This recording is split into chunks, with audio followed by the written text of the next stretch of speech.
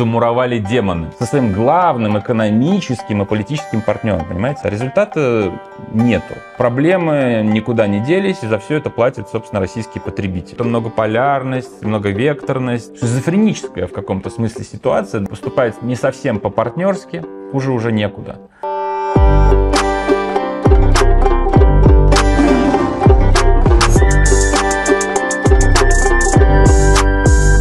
Всем привет, дорогие друзья! Меня зовут Майк Навалис, это проект «Китай-город».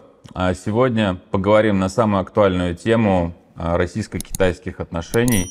Это проблема с платежами. А, это уже третий ролик на моем канале на эту тему. Предыдущие два можете посмотреть, ссылки в описании есть. У нас есть прекрасный инфоповод. Два месяца назад приезжал Владимир Владимирович Путин в Китай с э, официальным государственным визитом, и тема платежей там была, естественно, затронута. Но обо всем по порядку. Кратко напомню э, хронологию событий. Э, проблемы с платежами начались еще в начале года, и тогда участники рынка, скажем так, они судорожно искали каналы, бегали из банка в банк. А, в какой-то момент мне это уже все начало напоминать советскую комедию «Иван Васильевич меняет профессию», где Иван Васильевич застрял в лифте и ездил между э, этажами, и у него там сакраментальная фраза «замуровали демоны». Вот так, такое же ощущение, что действительно замуровали демоны.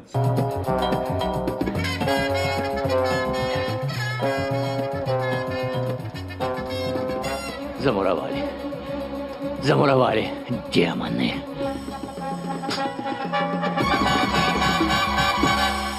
Вот что крест животворящий делает. Правда, э, крестом животворящим тут, боюсь, не поможешь. Вот. И в какой-то момент, когда в марте там, появилась информация, что приедет Путин, все стали очень сильно уповать э, на его визит. Э, к слову, Перед визитом появилась также информация, что э, Путин подарит э, Си Цзиньпину книгу Роман Чернышевского «Что делать?». Вот. Я тогда в своем инстаграме пошутил, что книга должна называть «Что делать, чтобы прошли платежи?».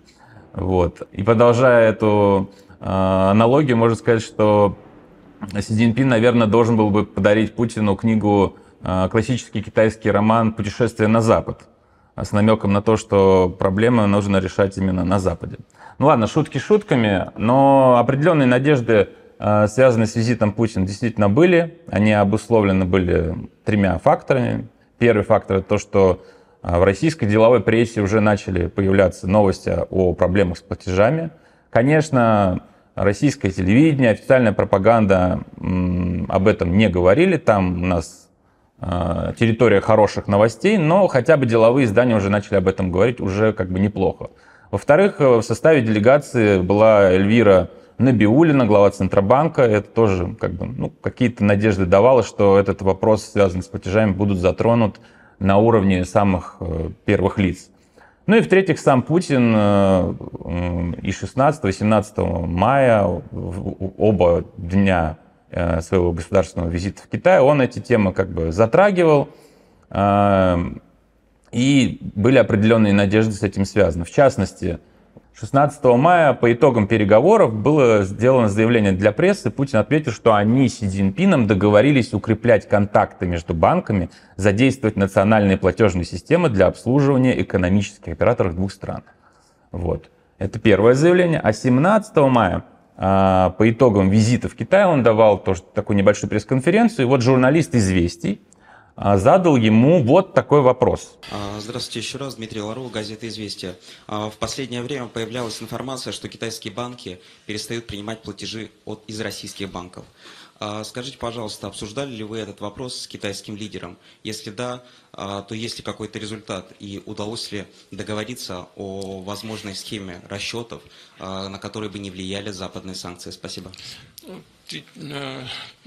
Очень хороший вопрос, на самом деле, очень конкретный, да, то есть обсуждали ли, какой результат, о чем договорились. Ну, ставлю оценку 5 этому вопросу, но, к сожалению, на этот очень конкретный вопрос Владимир Владимирович э, долго говорил про то, какие ужасные, плохие Соединенные Штаты Америки, что их санкции вот эти нелегитимны, и как они вообще вредят сами себе и другим. Я с этим спорить не буду, может быть, это отчасти правда, но, к сожалению, это не ответ на этот вопрос. А по сути вопроса он сказал только следующее. Прежде всего, вопросы, касающиеся расчетов, они обсуждаются на уровне э, участников экономической деятельности. Э, решения возможно, они есть, э, и, конечно, они так или иначе должны поддерживаться на государственном уровне. Надеюсь, так оно и будет. То есть, по большому счету, можно сказать, что бизнес должен надеяться сам на себя. Государство, возможно, поможет, ну, возможно, нет. Как бы, тут, тут как фишка ляжет. Вот. Я действительно поискал э, на сайте президента, там, на сайте правительства, есть ли какая-то информация, о чем вообще договорились э, в рамках этого визита, какие договоренности, какие документы. Вот на сайте президента есть такой э, раздел, скажем так, да, документы, подписанные по итогам переговоров президента Российской Федерации Владимира Владимировича Путина и председателя КНР Си Цзиньпин. Что мы там видим? Я не буду все перечислять, не волнуйтесь, да, но первое, там принято совместное заявление об углублении отношений всеобъемлющего партнерства и ла-ла-ла. Второе, соглашение между РФ и Китаем о создании трансграничного резервата «Земля больших кошек». Третье. Протокол между Федеральной службой по ветеринарному и фитосанитарному надзору и Главным таможенным управлением Китайской Народной Республики о фитосанитарных требованиях к топинамбуру. А, конечно, в, в телеграм-каналах и пабликах уже много шутили на эту тему. А, вот, но Честно говоря, меня немножко ошарашивало вот это все, потому что, ну, я про землю больших кошек, знаете, и про топинамбур я не слышал. А это, между прочим, пункт 2 и пункт 3 в списке договоренности России со своим главным экономическим и политическим партнером, понимаете? Топинамбур и земля больших кошек. Хорошо, давайте посмотрим пункт первый. Заявление. Что в заявлении? Может, заявление? Заявление огромное, там очень много букв на нашу тему, на нашу тему платежей. Есть ли что-то? Есть. Что есть? Давайте посмотрим. А, значит, стороны, то есть Китай и Россия договорились наращивать долю национальных валют в двусторонней торговле, инвестициях, кредитовании и других экономических операциях, совершенствовать финансовую инфраструктуру с тем, чтобы каналы расчетов между экономическими субъектами России и Китая функционировали бесперебойно, укреплять сотрудничество в сфере банковской и страховой регулирования, содействовать устойчивому развитию банковских и страховых учреждений двух стран, созданных на территории друг друга. То есть, э, конечно, ничего конкретного в этом заявлении нет, но какие-то определенные, ну, скажем так, умеренно позитивные моменты можно выделить, и э, были определенные надежды все-таки. Вот. То, что мне не очень понравилось, э, что касается этого визита, да, ну, помимо того, что на самом деле никаких прорывных там соглашений все-таки достигнуто не было, ну, судя, опять же, по, по средствам массовой информации и по сайту президента, вот, то, что мне не очень понравилось, это то, что очень много вот этих э, риторических э, фраз на тему того, что наши отношения России и Китая достигли какого-то невероятного уровня, что мы поддерживаем друг друга, взаимные интересы соблюдаем и так далее, и так далее. Очень много этой риторики. И такое, честно говоря, ощущение, что ну, то есть то, что китайцы любят эту риторику, я знаю, потому что я живу, работаю здесь. Такое ощущение, что а, российские тоже власти как бы заразились вот этой риторикой, да, этой, этой болезнью многословия, а, вот, и переняли это, и как бы за, за вот этой всей мишурой теряется, собственно, смысл, да, а где, где результат? Где результат? А результата нету. Кроме того, там еще такая уже была совсем лубок, скажем так, да, то есть, что там Владимир Путин заявил, вспомнил вот эту фразу советскую, Э, из советской песни, что русские с китайцами братья навек. Ну, окей, но хочу сказать, что на самом деле буквально там прошло, прошла неделя, и появилась э, в СМИ информация о том, что, например, э, приговорили к 14 годам колонии строгого режима новосибирского ученого Анатолия Маслова вот, за шпионаж в пользу Китая. Вот. И вообще, на самом деле, этих дел о шпионаже в пользу Китая а, за последние годы было немало. Вот есть отдельная статья, ссылочка э, я прикреплю, можете почитать. Поэтому, ну, знаете, братья, конечно, братья, там отношения и все такое, но э, вряд ли между по-настоящему такими доверительными э, отношениями между странами, у которых такие супердоверительные отношения, могут возникать такие дела шпионажа, как мне кажется. Может быть, я не прав. Но ну, вернемся к нашим делам. Давайте посмотрим, что было, собственно, после визита. Few moments later. Я вас, наверное, не удивлю, чудо не случилось. Чудо не случилось. А, к сожалению, а, то есть э, проблемы никуда не делись. А, прессинг со стороны там, китайских банков, он э, усиливается, усиливался. И, по сути, э, каналы вот эти, которые, собственно, по которым шли эти деньги российские из Китая в Россию, они все сужались, сужались. И можно сказать, что на данный момент а, мы уже дошли до предела. До предела, потому что а, этих каналов почти не осталось. Ну что мы имеем на данный момент? Давайте я вам перечислю. Есть ВТБ, Шанхай. Ну, кстати, американцы очень э, резво отреагировали они увидели, что ВТБ Шанхай стал очень популярным таким каналом для приема платежей, и э, отдельно его включили в санкции, в список, да, то есть ВТБ Шанхай. Не просто ВТБ, а ВТБ Шанхай. И из-за этого у ВТБ Шанхай, соответственно, возникли определенные проблемы с приемом платежей, с выплатой, сроки удлинились.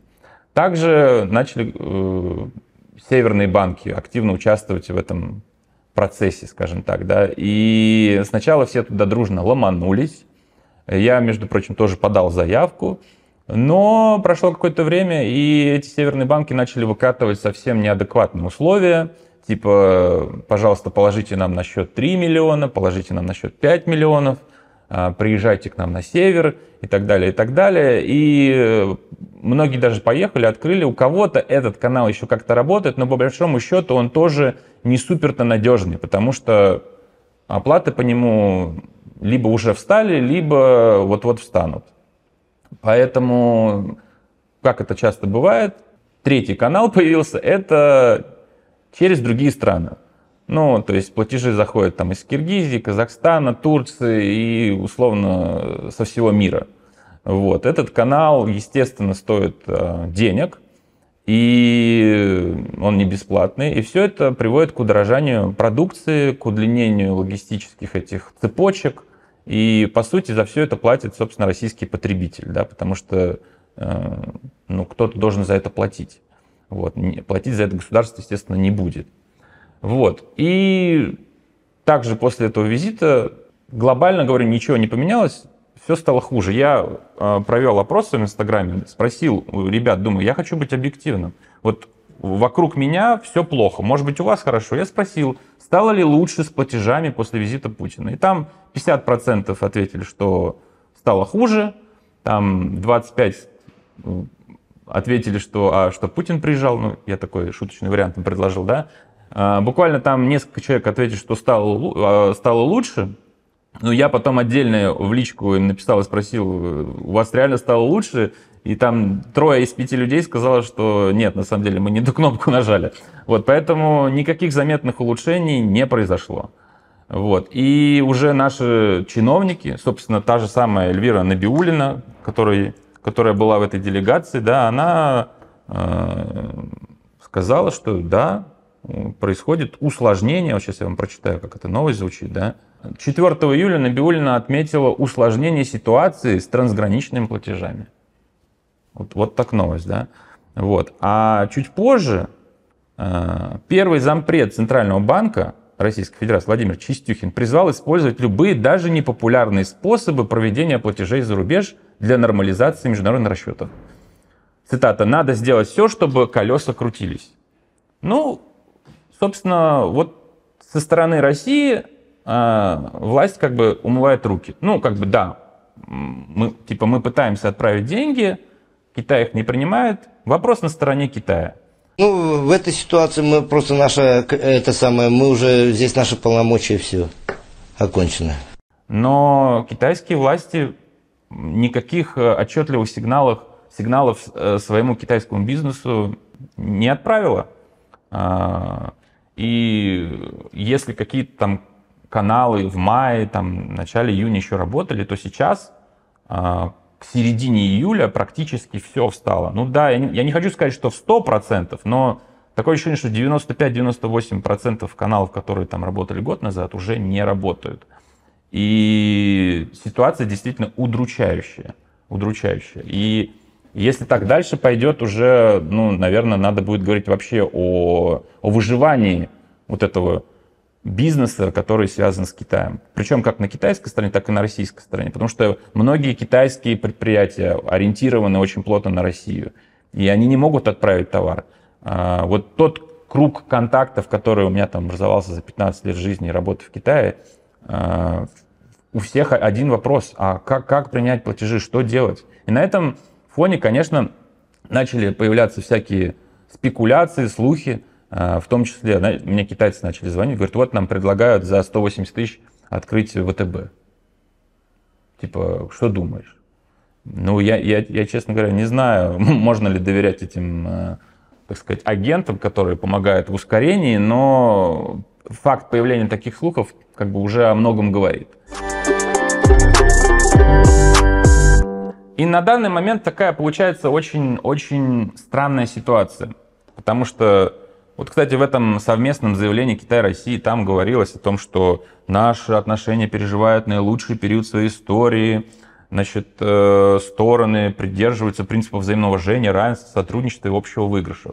Ну, а в чем этот общий выигрыш и равенство, непонятно, если Китай отказывается принимать а, деньги из России. Причем там Владимир Владимирович Путин очень много говорил про то, что у нас теперь платежи в национальных валютах, и нам это якобы должно помочь, но боюсь расстроить Владимир Владимирович, потому что э, платежи уже давно ходят не в долларах, они ходят э, в юанях, ну и очень редко в рублях. И это никак не, не, не помогает исправить ситуацию, потому что сама система банковская китайская, она можно сказать, в полной мере соблюдает те санкции, американские санкции, которые э, Америка э, применяет в отношении России. То есть это действительно такая для тех, кто там живет и работает в Китае, в том числе для китайского бизнеса, для российских предпринимателей, которые здесь занимаются бизнесом, это такая шизофреническая в каком-то смысле ситуация, да, то есть э, с одной стороны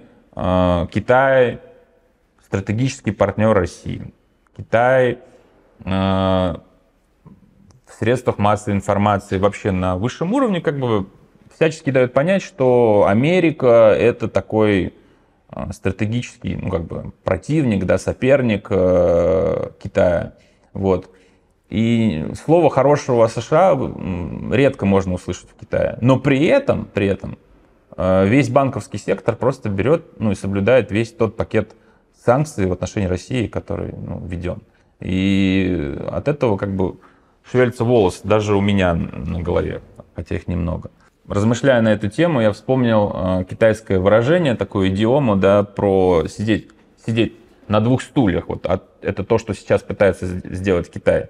Э, выражение звучит так: "Дяо та, лян тяо чуан", да, то есть две ноги на разных лодках, вот. И Недавно, кстати, в территориальные воды Китая вошел японский военный корабль. И как казалось бы, это, это должно было стать звоночком Китая о том, что пора уже определиться, на какой лодке ты плывешь. Но нет, Китай продолжает соблюдать свою вот эту многополярность, многовекторность и пытается усидеть на двух стульях. И сейчас, говорю, уже, ну, я нахожусь, наверное, в высшей точке своей фрустрации – в плане того, что проблема должна разрешиться. Ну, хуже уже, хуже уже некуда. Вот. И меня на самом деле удивляет отчасти позиция российских властей, да, потому что понятно, что им э, глобально плевать на бизнес. Окей. Но все-таки там так или иначе стараются следить за как бы социальной напряженностью в стране, да. И сейчас вот эти проблемы с платежами, они к чему приведут? Они могут привести и приведут наверняка к проблемам, ну, то есть может возникнуть дефицит товаров, и самое главное, удорожание товаров. И в итоге будет платить э, российский человек, так сказать, за, за все это. И я, не, я вполне допускаю, что вот этот рост цен, который может быть спровоцирован этим, он может привести к определенной социальной напряженности. Давайте теперь э, поразмышляем на тему, почему это происходит. Да? То есть э, хронологию я вам дал, как бы события перечислил, а почему вообще такое происходит? Я вот в предыдущем видео говорил, что, возможно, Китай что-то хочет э, от России. Может быть, вот эти все так называемые американские санкции, как сказал посол КНР в России, э, третьи страны, вмешательство третьих стран, да, может быть, это лишь повод, лишь повод для того, чтобы усилить свою переговорную позицию в преддверии переговоров.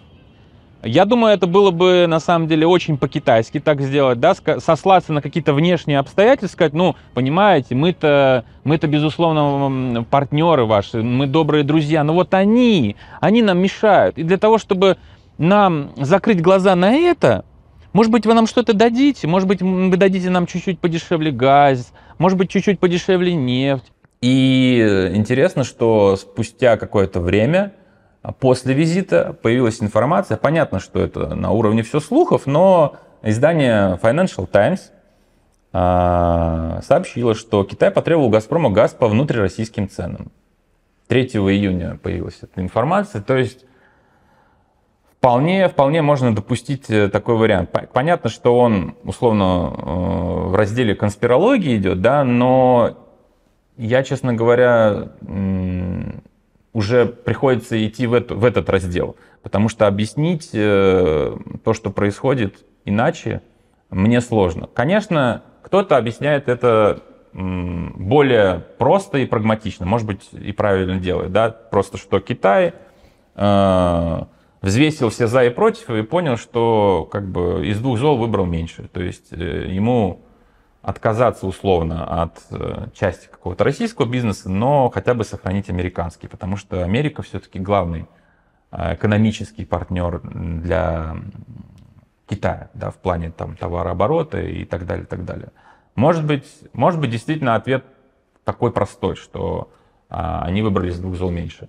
Я тут общался, кстати, с э, китайскими фабриками, они мне предложили еще один вариант, что они мне сказали, знаешь, я в этот вариант, правда, вообще не верю. Они сказали, что китайские банки, они вообще достаточно самостоятельны, а, и власти не могут им указывать, э, с кем им работать, с кем им не работать. Потому что я сказал, ну а почему бы китайским властям, так сказать, не указать, что давайте работайте вот с этими банками, и российские деньги будут туда спокойно заходить. Потому что примерно такая же ситуация есть с иранскими платежами. А санкции-то в отношении Ирана появились гораздо раньше, и Китай как-то сумел решить эту проблему. Ну вот э, появился такой Кунлунь банк. Вот. Э, но китайцы мне сказали, ну нет, власти не будут указывать, с кем работать, у них вообще таких типа полномочий нету. Это бы значило открыто, как сказать, заявить свою позицию, а Китай всячески этого избегает. Я, честно говоря, в эту версию не верю, но я вам ее все равно ретранслирую, чтобы у вас было, был весь спектр, так сказать, э, версий, вся картинка тоже появилась у вас.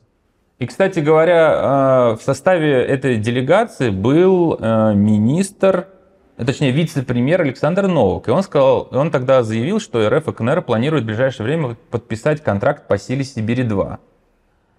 И, собственно, в ходе этого визита про силу Сибири особо там никто не говорил. Ну, то есть Путин и Си Цзиньпин про этот проект не говорили, никаких договоренностей достигнуто не было. И как раз то, что после этого ничего в банковской сфере э, не улучшилось, тоже косвенно как бы льет воду на мельницу тех, кто придерживается этой конспирологической теории о том, что Китай что-то, так сказать, требует у России взамен на то, чтобы платежи пошли. А требует он что? Газ подешевле, там какие-то другие, наверное, ресурсы подешевле, то, что, собственно, может дать э, Россия Китаю.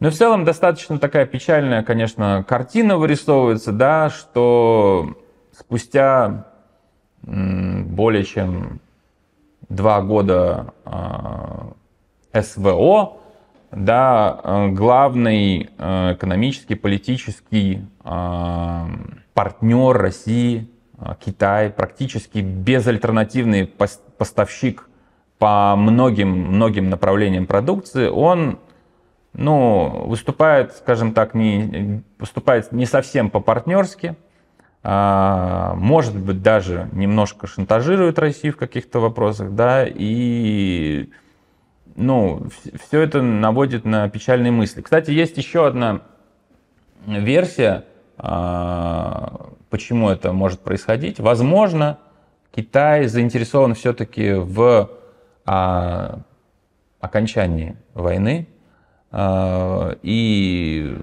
Китай выступил со своей миротворческой как бы, ну, миссией, да, там они еще, наверное, в прошлом году они стали примерять на себя роль такого международного посредника по урегулированию. Вот. И, может быть, это часть вот этого давления на Россию с тем, чтобы она закончила, вот эти, закончила эти военные действия, а, которые происходят на Украине. Я тоже допускаю этот сценарий. Забавно, кстати, что один из э, таких провластных э, экономистов, э, Михаил Хазин, вообще отличился. Он заявил, что Китай кинул Россию и что поездка Путина в Северную Корею, во Вьетнам, это как бы был ответ на то, что Китай ну, вот так не по-партнерски себя ведет. Понятно, что это как бы мнение частного человека, но все-таки он тоже интегрирован э, вот, э, в российскую, скажем так, пропаганду. И само то, что это, ну, как бы, это мнение появилось э, в информационном потоке, это тоже может о чем-то да говорит. Мало того, что никаких там позитивных сдвигов в плане платежей не обозначилось, так еще и 24 июня появилась информация о том, что дочка Bank of China свернет операции с подсанкционными банками России. Один из крупнейших банков Китая из-за риска вторичных санкций США прекращает работу с российскими банками, попавшими там, в санкционный список. То есть э, вся вот эта череда новостей и событий, там заявление Набиулиной, заявление зампреда, это, зампреда ЦБ а, о том, что используйте все каналы, да, а, то, что дочка а, Bank of China перестала принимать и так далее. Вот этот ряд событий, санкции в отношении ВТБ Шанхай и так далее, все, все это вот выстраивается в такую вполне отчетливую картину о том, что ситуация стала точно не лучше, скорее хуже. Какие прогнозы? Честно говоря, ну, э, настроения такие достаточно пессимистические, но, как я и говорил в предыдущем виде, что бизнес, он на то и бизнес, как бы предприниматель должны что-то предпринимать. Понятно, что э, Китай и Россия, безусловно, будут работать. Не может бизнес ну, полностью остановиться. Э, будут Появятся другие каналы, другие способы там и по логистике, и по доставке денег, они обязательно будут. Вот. Но все равно все это приводит к удорожанию. Возможно, какие-то участники рынка э, будут не справиться с этой ситуацией, уйдут с рынка, скажем так, да. Вот. Но в целом, э, конечно, удручает то, что по сути у российских властей нет никаких рычагов давления на Китай. А, а у Китая все карты в руки, вот, и у Китая, Китай может выбирать, как бы, как, как, какой картой ему пойти, козырной или обычной. Вот, поэтому я думаю, что вот эти все реляции про наилучший период нашего сотрудничества, про то, что русские с китайцем братья навек. Мне кажется, все это, вот эта словесная мишура, она мешает увидеть э, суть событий. И нужно относиться к Китаю ровно так же, как Китай относится к России, то есть прагматически. Но Россия сама себя загнала в такую ситуацию, когда у нее партнеров очень мало. А, те, кто вообще открыто поддерживает э, Россию в СВО, ну, только КНДР, условно, да, там. Ну, может быть, Иран, хотя Иран тоже прям открыто, мне кажется, не заявлял об этом. Поэтому пока, наверное, вот эта вся турбулентность э, в мировой экономике, в мировой политике происходит, надеяться на какие-то там прорывные вещи э, торговле, с платежами, в логистике не приходится. Ситуация сложная и вряд ли будет лучше в ближайшее время. На этом у меня все. Пожалуйста, подписывайтесь на мой канал. А, здесь будет много актуальной информации по работе с Китаем, по бизнесу с Китаем. А, периодически я выпускаю интервью с профессионалами, специалистами по Китаю. Здесь будет точно интересно. Подписывайтесь. А, ставьте лайки, комментируйте. Спасибо. Пока-пока.